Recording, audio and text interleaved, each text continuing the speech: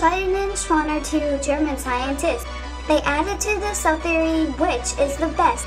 Schleiden says that all plants are made of cells. Schwann concludes that all animals are made of cells. The cell theory has three main parts.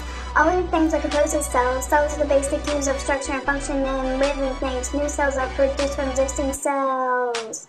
Bam. Now Schwann was a pretty smart guy. He made the term metabolism, the set of chemical reactions that happen in living organisms to maintain their life. But Schleiden was also pretty smart. He recognized the importance of the cell nucleus, a membrane-enclosed organelle found in eukaryotic cells. It contains cell's genetic material, or DNA. Now these guys didn't do all the work. Virchow helped produce the cell theory a couple of years later. He also was the first to recognize leukemia cells.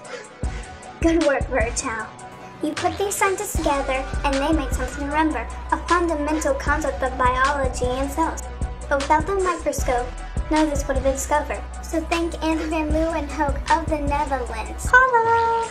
To wrap this rap up, you gotta know just one thing. Cells are inside of you. Yeah, they are. It's pretty cool. Yeah. Just remember that. Peace out.